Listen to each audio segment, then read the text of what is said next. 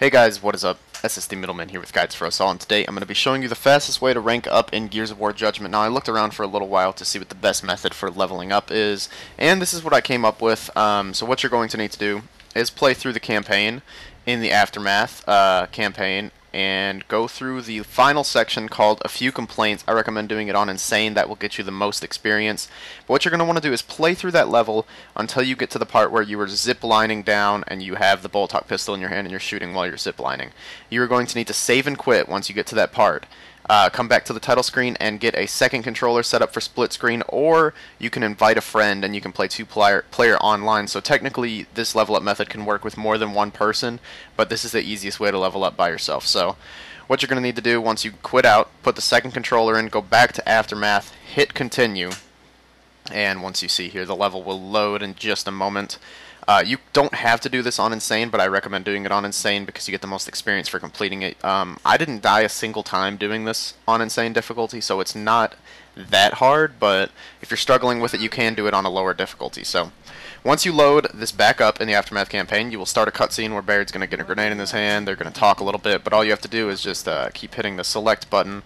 Well, you don't have to keep hitting the select button, but just wait until it says you can skip the cutscene. Right there, I skipped the cutscene, and then you're just going to need to play through this uh, zip line part right here. Basically just shooting anything that you want to. Shoot the gondolas down. If I can do that. I kind of suck. I haven't played this game in a while, so don't judge me if I'm not that great.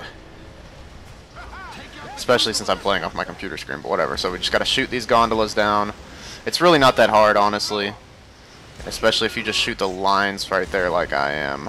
Uh oh gotta reload. And I didn't even hit the active. That was bad. Oh, missed. Up oh, there we go. and then you will slide down onto this building right here. Come on, drop down. There we go. And then another cutscene should activate here in just a second.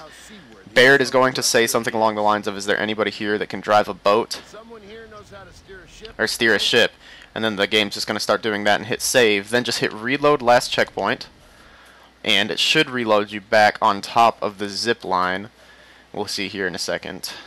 Or it should start that cutscene over that I showed you at the beginning.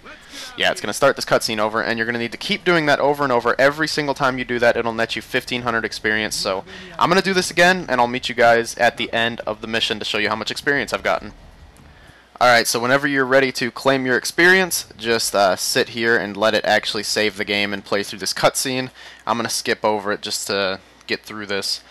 And let's see how much experience we earned from doing that twice. Do do do do do. Loading screens are so much fun, aren't they? Alright, so here's the experience page. Uh, this is my first time doing it on Insane, so I might get a little bit of an experience bonus, but you should get about 1,500 experience every single time you do this on Insane. Uh, like a 1,000 on Hardcore and 750 on Normal, if I do recall correctly. But yeah, so here we go. Win bonus, 3,000 experience just for doing that twice. And the second profile is also going to earn uh, I think they should earn just as much experience, maybe a little bit less. Uh, they only earned 1800 But there you go, guys. And if you want to do it again, you don't actually have to play through the entire chapter again. Just hit continue, and it should load you up right back at that cutscene where Baird has the grenade in his hand. So, anyways, thank you guys very much for watching the video. If you could, please leave a like rating down below and subscribe to see some more videos in the future. If you guys want to see some other methods for leveling up on Gears of War Judgment, make sure to let me know in a comment down below. I'll see you guys next time. Goodbye.